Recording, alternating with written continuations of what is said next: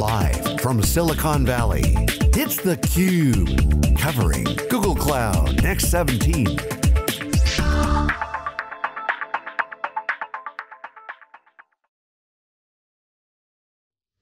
Hey, welcome back everyone. We are here live in Palo Alto for special two days of coverage of Google Next 2017, the events in San Francisco. Sold out, 10,000 plus people. Um, you know, really an amazing uh, uh, turn of events. Amazon Web Services reInvent had 36,000. Google's nipping at their heels, although different. We're going to break down the differences uh, with Google versus Amazon because they're really two different things. And again, this is CUBE coverage here in Palo Alto studio getting reaction, uh, sponsored by Intel. Thanks to Intel for allowing us to uh, continue the, the wall-to-wall coverage of the key events in the tech industry. Our next guest is Val Bercovici, who's uh, the, the chair, uh, board member of the Cloud Native Compute Foundation, board member. That's right. right. Uh, welcome back. You were here last week for Mobile World Congress. Great to see you.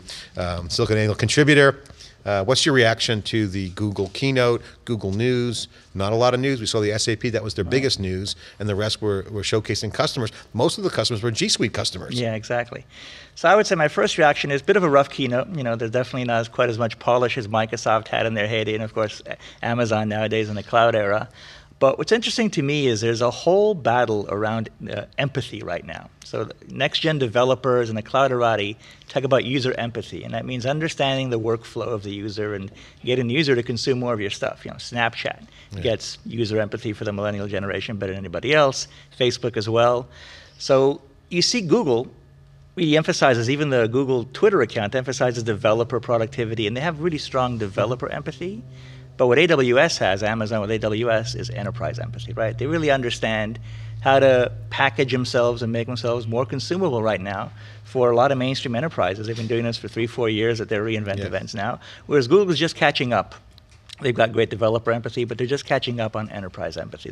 Those are the main differences I see. Yeah, and I think that's an important point, Val. Great, great point. I think Amazon certainly has, and I wrote this in my blog post this morning, um, getting a lot of reaction from that actually, and some things I'm going to drill down on the network and security side. Some Google folks uh, DMing me, we're going to do that. But really, Amazon's lead is way out front on this. Uh-huh. But the, the rest, you know, call them IBM, not in any particular order, IBM, Oracle, Google, SAP, others, put Salesforce since we're talking SaaS and Adobe, they're all in this kind of pack. Yeah. It's like a NASCAR, you know, pack, and you don't like know who's going to slingshot yeah. around and and, go, and get out there. But they all have their own unique use cases. They're uh-huh. using their own products to differentiate. We're hearing Google, and again, this is a red flag for me because it, it kind of smells like they're hiding the ball. G Suite, I get the workplace productivity. It is a cloud app, but that's not pure cloud conversations. If you look at the Gartner right. Gartner's recent uh, last report, which I had a chance to get a peek at, there's no mention of SaaSification. Google's G Suite's not in there. So the way cloud is strictly defined doesn't even include SaaS. Yeah. If you're going to include SaaS, then you got to include Salesforce in that conversation, or Adobe, or others. Exactly. So this yeah, is kind of an, an, optical illusion in my mind, uh-huh. and I think that's something that points to Google's lack of traction on customers in the enterprise is sort of behind the scenes Kubernetes is so important and why I'm involved with the CNCF. If anything, the first wave of cloud adoption, particularly by enterprise, was centered around the VM model. And you know, infrastructure as a service based on VMs, Amazon, AWS is the king of that. What we're seeing right now is developers in particular that are developing the next generation of apps. Most of them are already on our phones and our tablets and our yeah. houses and so forth yeah. as you know all these uh, Echo style devices. That is a container-based architecture that these next gen applications are based on. And so Kubernetes, in my mind, is really nothing more than Google's attempt to create as much of a container-based ecosystem at scale so that the natural home for container-based apps will be GCP as opposed to AWS. That's the real long-term play and why Google's, inve- Google's investing so heavily in Kubernetes. Is that counterintuitive? Is that a good thing? I mean, uh, it sounds like it's just they're trying to change the goalpost, if you will, to change the game. Because we had Joe Arnold on with uh, the founder of uh, uh, Swift, uh, Stack, and um, you know, ultimately, you know, clouds are mm-hmm. clouds, yeah. interclouding and multi-cloud is important. Does Kubernetes actually help the industry, or is that more Google specific in your mind? I think it will help the industry, but the industry itself is moving so rapidly. We're seeing serverless right now and functions as a service. And so I think the landscape is shifting away from what we would think of as either VM or container based infrastructure as a service towards having the right abstractions. What I'm seeing is really, you know, the most innovative enterprises today don't really care about their per minute or per hour cost for a cycle of compute or a byte of, of you know, network transferred or stored. They care about big table, big query, the natural language processing, visual search, and a whole category of these new AI-based applications that they want to base their own new, new revenue-generating products and services based on. So it's abstraction now is that new battlefield. AWS brings that cult of modularity to it. They're delivering a lot of cool services at a very high level, yep. Lambda centered, based on really cool modularity, whereas Google's doing it with just very, very elegant abstraction. And so at the developer level, at the technical level, that's where the, the, landscape is, is right now. Are you happy with Google's approach? Because I think Google actually doesn't want to be compared to AWS in a way. I mean, I, from what I can see from the keynote Only now, by revenue. well, certainly they're going to win that by throwing G, G Suite right, on it. Right. But I mean, this is, again, a philosophy game, right? I mean, Andy Jassy is very customer focused, but they don't have their own SaaS apps, except for Amazon, which they don't mm-hmm. count on the cloud. Um, so their success is all about customers yeah. building on Amazon. Google actually is its own customer, and they actually include that in, as does Microsoft with Office 365. Yeah. Yeah, that's the irony. Is if we go back to enterprise empathy, I think it's Microsoft has that legacy of understanding the enterprise better than all the others. Uh, and they're beginning to leverage that. We're definitely seeing Azure slotting comfortably to a number two position behind AWS. But it really does come back to, you know, are you going to lead with a propeller head lead in technology, which Google clearly has? They've got some of the most superior technology. Mm-hmm. We were rattling off some of the speeds and feeds that one of their product managers shared with you this morning. They've got amazing technology. That's unquestioned. But what they do have also is this reputation of almost flying in rarefied air when it comes to enterprises. What do you and mean by that? What I mean by that is that most enterprise IT organizations, even the progressive ones, have a hard time relating to Google technology. It's too far out there. It's too advanced in some cases. They just can't understand it. They've never been trained in college courses on it or even post grad courses on it. MBA is older than three years old, don't even reference the cloud. So there's a mm-hmm. lot of training and a lot of knowledge that has to be you know, conducted the, on the enterprise side. AWS has packaged that technology of theirs, the modularity, in such a way that's more consumable. Not perfect, but more consumable than any other cloud vendor. And that's why, with the early head start, they've got the biggest enterprise traction today. Yeah, I mean, and I'm, I'm really bullish on Google. I love the company, I've been following them since 98. A lot of friends here in Palo Alto, a lot of Googlers living in, in my neighborhood and all around us. Larry Page, see him around town. Great, great company, and very always been kind of like an academic, speed of academic, very strong technically, and that yes. is clearly they're playing that card. Uh-huh. We have the technology, so I would just say that to counter that uh, argument would be if Google, if I'm Google, if I'm on the team with Diane Greene, and, and you know, look at what I would do is we want to be the intel for the cloud. So w- the hard and top is we don't really care if people are trained. Should be un- should be so easy to uh-huh. use. Training doesn't matter. Right. So I mean that's a little bit more of an arrogant approach, man. I don't think Google's being arrogant in the cloud. I think that ship has sailed. I think Google has kind of uh, been humbled in the sense in recognizing that the enterprise hard. They're checking the boxes. Uh-huh they have a partner program. Yeah, you're right. I mean, if you take a look at their customers today, you've got Spotify, it's Snap, and Evernote, and you know Pokemon Go and Niantic. All the leading edge technology companies that have gone mainstream, that are you know startup oriented. Snap, of course, they're on Google Cloud. Uh, but that's not enough. You know, the enterprise. I, I, did a seminar just last week promoting Container World with Jim Ford from ADP. The enterprise is not homogeneous. The enterprise is complicated. The word legacy is all over what they have to budget and plan for. So the enterprise is just a lot more complicated than Google will acknowledge right now. And I believe if they were to humanize some of their advanced technology and package it and, and price it in such a way that AWS, you know, where they're seeing success, they'll accelerate their inevitable sort of leap to being one of those top three contenders. So, so I'm just reading some of my, I'm putting together because um, for the Google folks, I'm going to interview. I'm just prepping for this. But Just networking alone, isolating cloud resources. Mm-hmm. That's hard, right? So, Very. you know, virtual network in the cloud. Uh, Google's got the virtual network. Mm-hmm. You got multiple IP addresses, for instance, ability to move network interfaces and IPs between instances, enhanced networking support, network traffic logging, virtual network peering, managed NAT gateways, um, subnet level filtering, IPv6 support, uh, use any CIDR, including RFC 1918, mm-hmm. multiple network interfaces instance. I mean, this is complicated. it's not easy. So, you know, I think you know the, the strategy is going to be interesting to see how does Google go into the point-to-point solution mm-hmm. set, or they just say, "This is what we got, take it or leave it," and try to change the game. That's what they've been doing up until now, and I don't think it's working because they have very formidable competitors that are not standing still.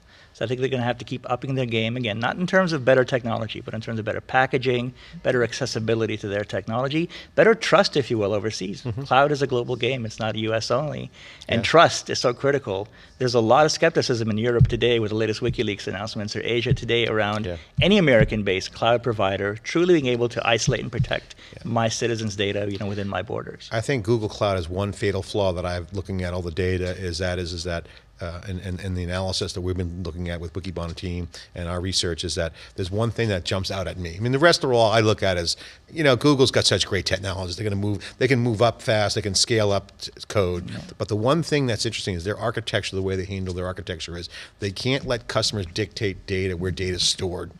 That yes. is a huge uh-huh. issue for them.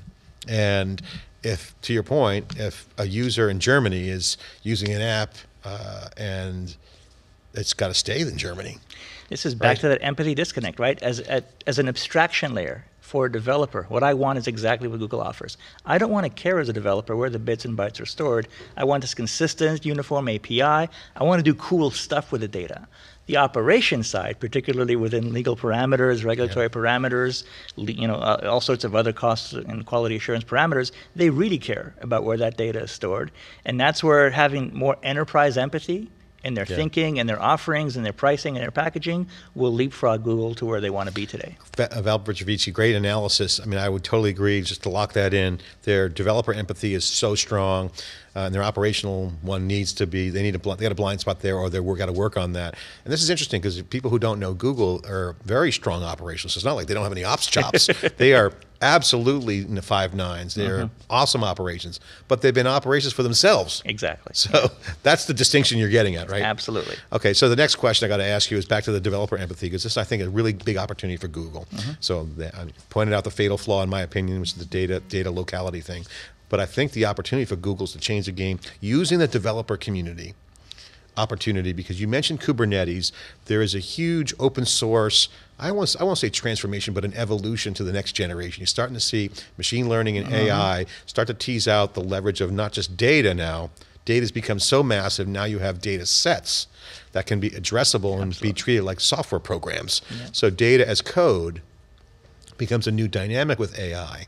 So with AI, with open source, you're seeing a lot of activity. CNCF, the Cloud Native Compute Foundation, folks should check that out. That's an amazing uh, group in the Linux Foundation. This is an awesome opportunity for Google to use Kubernetes as saying, hey, we will make orchestration of application workloads. Absolutely. This is something that Amazon's been great with open source, yeah. but they don't get Am- a lot of love. They Amazon you know, has they, a blind spot on containers. Let's not, you know, let's not call, you know, let's call a spade a spade. Let's not, you know, beat around the bush. They do have a blind spot around containers. It is something they strategically have to get a hold of. They've got some really interesting proprietary offerings, but it's not a natural home for a Docker workflow. It's not a natural home for a Kubernetes workflow yet, and it's something they have to work on. And AI as a use case couldn't be yeah. more pertinent to business today because it's that quote, you know, the future is here but unevenly distributed. Yeah. Um, that's exactly where AI is today. The businesses that are figuring it out are really leaping ahead of their competitors. We're getting some great uh, tweets. My phone's blowing up. Val, you got great commentary. I want to bring up some. I've been kind of over the top and with the, with a comment that I've been making, and it's maybe maybe mischaracterized, but I'm, I'll say it again. There seems to be a cold war going on uh, inside the communities between with Kubernetes has done. We've seen Docker, we've seen Docker containers uh, be so successful in this serverless, yeah. serverless um, uh, vision, which is absolutely what where cloud native is it needs to be, and, that notion of you know uh, separating out uh, physical gear and addressability, making it completely transparent, full mm-hmm. DevOps, if you will. Two, who's going to own the orchestration and where does it sit on the stack? Yeah. And what Kubernetes to me is uh, interesting is that it tugs at some sacred cows in the container world. Yes. And opens up the notion of multi cloud. Yeah. I mean, assume latency can be solved at some point. It was actually a core religion. What impressed me about the whole Kubernetes community, and the community's its greatest strength, by the way, is the fact that they had religion around multi cloud from day one It wasn't about we'll add it later because we know it's important. It's about portability. You know, even Docker lent that to the community. Portability is, is just Yeah. a number one priority, and now portability at scale across multiple clouds, dynamically orchestrated, not through Yeah. you know potential for human error, human inter- in- intervention, as we saw last week. That's the secret Yeah. sauce there today. I think not only is it a Cold War is a negative connotation, but I think it's an opportunity to, to be sitting in the sun, if you will, on the beach with a, a pina colada. Because if you take the Kubernetes trend that's got developer empathy with portability, yeah. that speaks to what developers want. I want to have the ability to write code, Mm-hmm. ship it onto the network, and have it integrate in nicely and seamlessly. You know, things can software can do all that, and AI can help in all those things. Connecting with operational challenges. So, what is in your mind that um, that inter- intersection? Because let's just say that Kubernetes is going to develop a nice trajectory, which it has now, and continues to be a nice way to to galvanize the community around uh, orchestration, portability, et cetera. Where does that intersect with some of the challenges and needs for operational effectiveness and efficiency? So the dirtiest secret in that world is data gravity, right? It's all well and fine to have workload portability across, you know, multiple instances in a cluster across multiple clouds, so to speak. But data has weight, data has mass and gravity, and it's very hard to move, particularly at scale. Uh, Kubernetes only in the last few releases with a furious pace of evolution, 1.4, 1.5, has a notion of provisioning persistent volumes, this thing they affectionately called pet sets that are now stateful sets. I love that name. Pet Cattle. sets, exactly. so Google is waking up, and, and Kubernetes, I should say in particular, is waking up to the whole notion of managing data is really that last mile problem of cloud portability and operational maturity, and planning around data gravity and overcoming where you can data gravity through better operational procedures is where this thing is really going to take off. I I think this is where Google. I like Google's messaging and I like- their posture on on machine learning and AI. I think that's key. But Amazon has been doing AI. They got machine learning as a service. They have they've had Kinesis for a while. Mm-hmm. Uh, in fact, Redshift and Kinesis were their fastest growing services when before Aurora became the the big thing that they had. So I think you know they're addressing the ingest with the trucks and the snowmobile stuff. So I think uh, uh, certainly Amazon's been doing that. Uh, data and then rolling it into some sort of AI. And they've been path. humanizing it better, right? I can relate to some of Amazon's offering. and Sometimes I have it in the house, you know. So the packaging and, and just the, the consumability of these Amazon services today is ahead of where Google is, and Google arguably has the superior technology. Yeah, and I think you know I'm, I was laying out my analysis of Google versus Amazon, but I think it's not fair to try to compare them too much because Google is just making their opening moves on the chessboard Mm-hmm. um, because they had, had Diane Greene. Got to give her credit; she's really starting behind, Yeah. and that's that's been talked about. But they are serious; they're going to get there. The question is, what does an enterprise need to do? So your advice for, to an enterprise would be what? Stick with use cases that are either Google specific apps or cloud native. Where do you go? How do you? I would you, say remember the lock-in days of the Unix vendors and even Microsoft at their hey, in their heyday, and, and definitely think multi-cloud. You know, cloud first is fine, but think really data first in the cloud before you think a particular cloud first. Always keep your options open. Seek the highest levels of abstraction, particularly as you're innovating early on and fast failing in the cloud. Don't go low right away. Go low later on when you're operationalizing at scale and looking to squeeze efficiencies out of a new product or service. Don't go low. You mean don't low? Go low in the stack? Don't go low in the stack. Exactly. Start very high in the stack. What would be an example? Uh, so Lambda, you know, uh, taking advantage of if we bring in Kinesis, IoT workflows, all sorts of sensor data coming in from the edge. Don't code that for efficiency day one and switch to Kafka or something else that's more sophisticated, but keep it really high level as events triggering off, uh, whether it's the IoT SDK and, and sensor inputs, whether it's S3 events, DynamoDB events. Write your functions at a very, very high level Yeah. get the workflows right, pay a, a bit more money up front, pay premium for the fast fail, Well, this fast also learn approach up bootstraps some of the training challenges you Yeah. mentioned. So with Google, pick some things that are known Mm-hmm. out there. Uh, back, you mentioned IoT, and one of the things I, I was kind of disappointed in the keynote today. There wasn't much talk about IoT. You're True. not seeing IoT in the Google story. That may reason- come up in tomorrow, Urs's keynote. That may come up tomorrow in a more technical context. Uh, but you're right. That's, a, that's an area of both Azure and AWS uh, have a demonstrable lead right now, as they've had really good SDKs out there to be able to create workflows Mm-hmm. without even being an expert in some of the devices that you know you might own and maintain. Uh, Um, Google's got some differentiation. They got some things. I'll highlight one that I like. I think is really compelling. TensorFlow. TensorFlow has got a lot of great traction, and then Intel uh, is writing chips with their Skylake product that actually runs much faster silicon. To so is NVIDIA. You know, it's a GPU game as much as a CPU game when it comes to machine learning. And it's just What does really that mean for to see. users? I mean, that's exciting. You're smiling. I, I get geeked out on that Yeah. because if you think about that, if you can have a relationship between the silicon and the software, What does it mean from an impact standpoint? Do you think that's going to be a good accelerant for the for the game? massive accelerant, you know, and this is where we get into sort of more rarefied air with Elon Musk's quote around the fact we'll need universal income for society.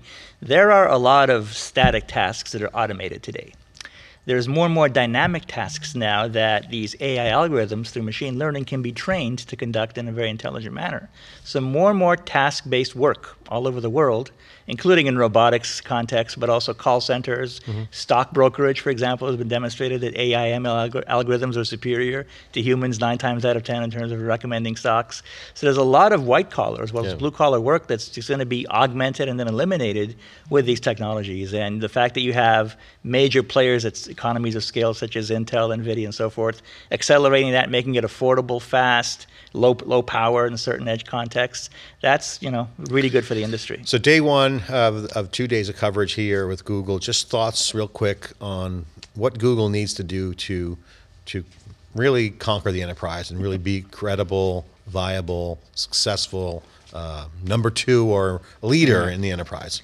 I'm, I'm a big fan. You know, I've, I've, had personal experience with fast following as opposed to leading or innovating sometimes in terms of getting market traction. I think they should unabashedly and unashamedly examine what Microsoft or what Amazon are doing right in the cloud because you know simple things like conducting a bit more of a smooth keynote google doesn't seem to have mastered yet right now in the cloud space and it's not rocket science but shamelessly copying what works yeah. shamelessly copying the packaging and the humanization of some of the advanced technologies that amazon and microsoft have done in particular and then applying their technical superiority you know their uptime availability advantages their, their faster networks their strong consistency which is a big deal for developers across their regions emphasizing their strengths after they package and make their technology more consumable, as opposed to leading with the tech specs. And you have a lot of experience in the enterprise. Uh, table stakes out there that are pretty obvious that they need to check the boxes on what and would be what. A really good question. I would say first and foremost, you really have to focus on uh, more, you know, transparent pricing I think something there's a whole black art in terms of optimizing your AWS usage, and there's an industry that's yeah. formed around that. Yeah. I think Google has, uh, and they have blogs advertising yeah. a lot of advantages they have in the granularity and the efficiency of their auto scaling up and down. But businesses don't really map that. They don't think of that first, even though it can save them millions of dollars as they do move to cloud first approaches. Yeah, and I think Google's got to shake that academic arrogance in a way that they've had a, a reputation for. Not that that's a bad thing. I'll give you an example. I love the fact that Google leads a lot of price performance on many levels in the cloud, mm-hmm. yet their SLAs are kind of wonky here and there. So it's like, okay, fix as they enterprises like SLAs, so you got to nail that, um, and then you know, maybe keep the price a little higher yeah. and can make more money. But so you're saying is that enterprise might not get the fact that it's such a good deal. It's like enterprise sales 101. You talk about you know the operational benefits, but you also talk about financial benefits and business benefits.